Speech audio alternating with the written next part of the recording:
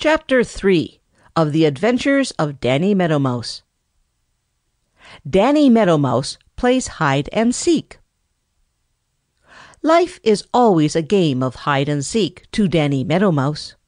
You see, he is such a fat little fellow that there are a great many other furry coated people, and almost as many who wear feathers, who would gobble Danny up for breakfast or for dinner if they could. Some of them pretend to be his friends, but Danny always keeps his eyes open when they are around and always begins to play hide and seek. Peter Rabbit and Jimmy Skunk and Striped Chipmunk and Happy Jack Squirrel are all friends whom he can trust. But he always has a bright, twinkling eye open for Reddy Fox and Billy Mink and Shadow the Weasel and old Whitetail the Marsh Hawk and several more, especially Hooty the Owl at night. Now Danny Meadow Mouse is a stout-hearted little fellow, and when rough Brother North Wind came shouting across the Green Meadows, tearing to pieces the snow clouds and shaking out the snowflakes until they covered the Green Meadows deep, deep, deep, Danny just snuggled down in his warm coat in his snug little house of grass and waited. Danny liked the snow. Yes, Sir, Danny Meadow Mouse liked the snow. He just loved to dig in it and make tunnels. Through those tunnels in every direction he could go where he pleased and when he pleased without being seen by anybody. It was great fun. Every little way he made a little round doorway up beside a stiff stalk of grass. Out of this he could peep at the White World, and he could get the fresh cold air. Sometimes when he was quite sure that no one was around, he would scamper across on top of the snow from one doorway to another, and when he did this he made the prettiest little footprints. Now Reddy Fox knew all about those doorways and who made them. Reddy was having hard work to get enough to eat this cold weather, and he was hungry most of the time.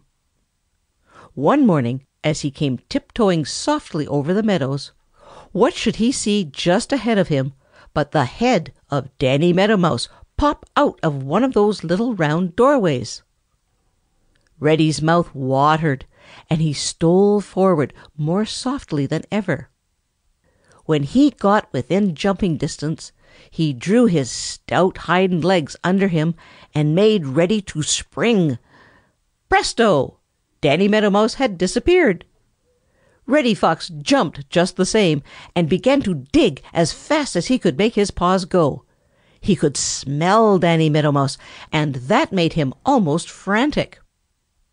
All the time Danny Meadow Mouse was scurrying along one of his little tunnels, and when finally Reddy Fox stopped digging because he was quite out of breath, Danny popped his head out of another little doorway and laughed at Reddy.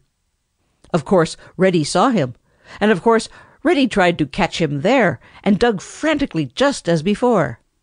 And of course Danny Meadow Mouse wasn't there. After a while Reddy Fox grew tired of this kind of a game and tried another plan.